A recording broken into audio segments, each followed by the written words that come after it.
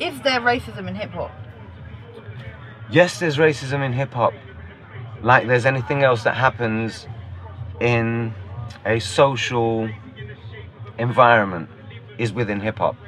There's nothing that hip hop will not speak about because hip hop isn't shy. So you're asking me, is there racism in hip hop? Sadly enough, in society there's racism, and hip hop will reflect. Hip hop will reflect on what society sees. So therefore, yes, there's racism in hip hop. Also, that we have to look at as much as we have to admit that there might be racists in hip hop. Look how much of a unifying vehicle to bring cultures of different ethnicities together. Nobody's quite done that as hip hop. So even though there may be racism in hip hop, which is the question, let me also bring it to your attention that hip hop has been the biggest, strongest, most influential vehicle of bringing the races together. So It's like I could say, hmm. and I'd like to add to this, is there homophobia in hip hop? yeah, Did you say yeah? I'm just saying yeah. So you there, want to there- add to it? there's Yeah, a question. Is there homophobia in hip hop? I'm sure there might be. But is there people in hip hop representing liberal minds to break down these homophobic barriers? Yes, indeed. um, there's a lot, um, obviously, a lot more white artists started. Um, Whitey's got the mic. Go. what? Obviously, a, a No, lot let more me- white I, wanna add, artists. I wanted to add something to this. Yeah, Oh, I love it. We discussed this. it. We discussed this some on the. We discussed this on the radio Fizzy the other day. water. We, we asked this question on the radio on the debate: Is there racism in hip hop? It's a broad question. Like some people answer it completely different to others, and some people spoke about um, the industry racism in like from from record labels and people that are in, in control of certain situations. Um, um, and then there there was an issue of like white rappers being a white rapper being an issue, and I was explaining that I never ever felt ever that being an issue for me. And Mongo comment um, sent in a comment saying, "Where when Skinny and Chester first was coming up to open mics and stuff, Yeah. it was different. It was, Yeah. it was there was a lot less, less white rappers, and Yeah. it, it was an issue. Yeah. And um, I don't know. I don't know if you can touch on that. I can absolutely touch on that. I'd be delighted. Um, when hip hop first started, the embodiment of hip hop, and many people often get it misconstrued about what the four elements of hip hop are. Hip hop came from a place of despair, Yeah. and it was based upon four elements of four pillars of such a foundation of what it was set upon. Mm. The strength of it could never be faltered Mm. and it could never be destroyed. Therefore, hip hop would live forever. There's no way you could ever destroy the monument of hip hop because the four pillars that it was birthed on Yeah. is peace, love, Yeah. unity, and having fun. Yeah. Nobody could ever destroy that. The monument of the, the, the pillars that that monument is built on is undestructible for eternity. Peace, love, unity, and having fun. Now, people coming from a place of despair, coming to a realization of the truth of what this really means, Mm. gave them a new lease in life. Mm. And hip hop was born. Yeah. And it was with blacks, whites, Latinos, Spanish, Italians, Puerto Ricans, every culture of a lower working class that were residents of the South Bronx at the time. Now, I specifically remember a time. People's old school to them might not be old school to me because, you know, I remember hip hop going through its different genres and I remember Public Enemy coming along. Yeah. And I remember I love Public Enemy. And it was at the time when I was coming politically aware of how England exercises inequalities. And I used to love spitting Public Enemy's rhymes, and I was with the one where it said um, about Farrakhan, don't tell me that you understand until you've heard the man, which gave me an interest into Farrakhan. And then I heard Farrakhan, and I thought, what a delightful loving, peaceful human being that that man is, a true humanitarian in my eyes. And um, and he was influenced by the great Honorable Elijah Muhammad, another beautiful, inspirational human being to grace the planet, you know? And um, I was very influenced by the qualities that these people had and, and the love that they wanted to bring. And I could see it um, undiluted. And I saw that England didn't want Farrakhan to come to this country to speak. And I think, well, England are the people that practice freedom of speech. And that you should be allowed to go to Hyde Park Corner on a Sunday, which is called Speaker's Corner, and speak on any topic that you like in the country where they practice as the law freedom of speech. And they had prohibited this man from entering the, the country because they believed that what he was going to speak of would have incited racial hatred. A couple of years later, we was graced on our shores with the presence of the Honourable Chuck D from Public Enemy. And I remember him giving an interview about what it meant to be to be pro-black. And this was something that I wished to have an overstanding of. And when I heard Chuck D break it down, and he was unable to educate me on, on the meaning of what this meant, he was like, how is it as a black man can he not be pro for the advancement of his black people? It doesn't mean that in any way he's anti-white or he's anti-Asian or anything of the of the sort. He believes that the white man should be pro-white, the black man should be pro-black, the, the Chinese man should be pro-Chinese, that we should all be. And I said, well, I like pro for everybody, so maybe that makes me a pro-humanitarian. And I realized that what that means is I'm all for pro-black, I'm all for pro-white, I'm for pro-everything. I'm for pro-humanitarianism. I don't like isms or schisms. So just pro, pro I'm a pro-humanitarian. And it, and it let me know that it broke down racial barriers. I can say that in that time, a lot of my Caucasian friends who were heavily influenced with hip hop as a movement and as a culture from the birth almost felt that there wasn't a place for them because it had almost become a voice for impoverished black communities to vent their angst and that would be inadequate to them because that's not their social background Yeah. um, so maybe that's where hip hop lost a lot of its white audience because of people's own shallow ignorance. If people were a bit open minded more to learn more and understand diverse cultures more, maybe they wouldn't fear them as much. Maybe they'd even find that, you know, they're wonderful and splendid to rejoice in worldly cultures. Um, I used to often get asked, why do you speak the way you do? Because of the environment that I was raised in.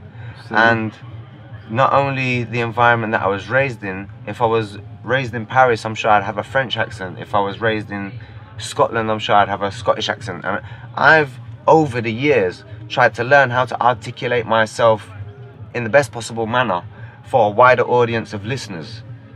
Not just the youths that are on road that speak in slang the way that I'm fluent. I've tried to broaden my vocabulary to be able to reach a wider audience. Um, I want us to all have a universal language so we can all understand each other perfectly clear with no misconceptions, misconstrued. So when I look at the barriers that are created to segregate everyone in every differentiation, I look at, let's look at our common similarities. So when it comes to me being influenced the way that I've been influenced and raised the way that I've been raised and people wanting to question the authenticity of who I am as a person because I've been engrossed in dance hall music. I've actually thought, well, that's the way I was raised. But alternatively, there's nothing wrong, or I don't personally see anything wrong, with people embracing culture. The first time that I can say I ever experienced such a thing and noticed such a thing of someone adopting another culture because they love the culture and their love for the culture was a boy who was a neighbor who was engrossed in Italian football. And he was so engrossed in Italian football, he learned to speak Italian. And then he became so engrossed with Italian culture, he learned to cook pasta and lasagna, etc. And he finds Italian culture so beautiful that he goes to Ita- Italy and has holidays there, and, and he loves it. It's like you know he has a lust and a passion for Italian culture. So it was the first time I ever saw it, and I thought it was weird at the time. Like, right, just through football and your love for Italian football, you've learned to speak Italian, you can cook Italian pasta, you go on Italy on holiday now, and you know it was amazing. But you know, who's to say that someone shouldn't do that? I'm sure he found much joy in it, and Yeah. and for anybody finding happiness in something, I'm not here to tell people that they shouldn't pursue happiness. I believe that people should pursue happiness. you talked about um, how people, how you wanted to understand the culture of like what you heard um, Public Enemy speak about, and speakers are important to them, and you want to learn about them. Um, I guess that's a difference between immersing yourself in a culture and like um, taking it somewhere else, like cultural appropriation, I suppose you could call it. Do you think that um, someone used the term whitewash? Do you think that that hip hop has been whitewashed? That's in the sense that it's been taken away and it's been taken somewhere else, or that people are involved in it without that understanding, or without taking, or without giving respect to to its roots. I understand that question perfectly, and I think what we'll call it um, is industrialized.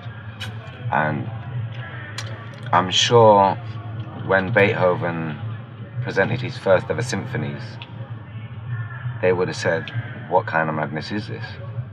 We're not getting behind it. Now that we call it classical music, you've got worldly music scholars that swear by it. So it's become industrialized in the industry. And then if we look at what industrialism means, if we look at somebody like Chuck Berry in the 60s, Elvis Presley, they would have seen a music that they shunned as devil music, which was rock and roll. And then said, one minute, this actually might be a great marketing strategy to help us sell Coca Cola, for instance. So now, who better to get a person of influence to a youth culture of a market that we're trying to exploit with our brand than somebody who they look up to musically. How's about get that person to do a music jingle for our brand?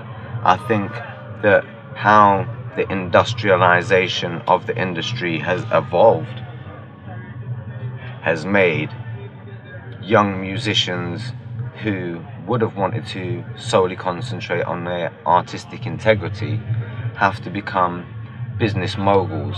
I often express this in a formula of David Beckham being a brand and the Beckhams being a brand. It was in Beckham's career that I first realized there's a football player getting paid more off the pitch than he is on the pitch because of the way that he's branding and marketing. Now, I'm sure people have always been exploited by the industry to help create marketing sales. And when we look at what we have as the evolution of the industrialization of music being the vehicle, we have people like Rick Ross releasing his own brand of alcohol, um, you know, Puff Daddy, the Ciroc Boys, and so now what we have is we have the artist realizing his own potential to cash in on himself as the industrial machine that can now bring marketing to a platform through the music audience. And now this is very savvy of an artist to exploit avenues of industrialization through their music. I mean, Do you think that's selling out? it depends on your standpoint. I have my own integrity, and I'd say that there's some things I'd consider to be selling out. If you're for a minute, um, if you're for one minute, um, gonna compromise your integrity, you're selling out immediately, and and that's from the jump before you've even earned a buck. If your intention from the start was to mm. compromise your integrity, you've sold out. I believe that if you don't compromise your integrity, none whatsoever, and you become major successful from that, you're not selling out. And I suppose there's what's your ethos. I remember back in the day, there used to be some incredible rappers that I thought were great, and I'd go backstage to meet them, and maybe turned out that their personality isn't so great as their music would have you believe. So, as a young aspiring rap fan, looking up to these people and idolizing them in somewhat sense, my dreams were crushed and the illusions were crushed. Um, and then some people lived right up to the dream and then some, you know. Uh, and I was like, yeah, these are my heroes. So, if we look at, I used to really look up to Rakim Allah and the fact that his name was Rakim Allah, you know, represented a, a, a deeper meaning of a higher calling. And I see him in rap pages doing an advertisement for Colt 45 beer. And I understand that in the Islamic culture to be haram. And I thought, did Rakim Allah compromise on his religious beliefs for the sake of the dollar bill? And it made me question authenticity of artist integrity. Because I've seen a lot of artists since then preach one thing but then in their actions be totally hypocritical to what they're preaching. Mm. And I'd say then there's a hard place to draw the line because I think about in this instance Zack De La Rocha from Rage Against the Machine who in hand, never wanted to sell out with the solid beliefs of being against the corporate machine. And he in himself be- became a success for the corporate machine. So his success made him a hypocrite to his ethos. And I can't actually blame him because he still stuck to his ethos. Although, from a different standpoint of view, he was success for the same machine he was the rage against. Hmm. I often see places like Footlocker and JD Sports selling Che Guevara t-shirts. Hmm. And I think Che Guevara's whole sentiment of his whole ethos stood against everything that JD Sports or Footlocker is. Hmm. But they're selling Che Guevara t-shirts in JD Sports and Footlocker. Who gets the royalty off this image? You know, like when they manipulate an image of Bob Marley. Hmm. Again, back to the manipulation of the industrialization.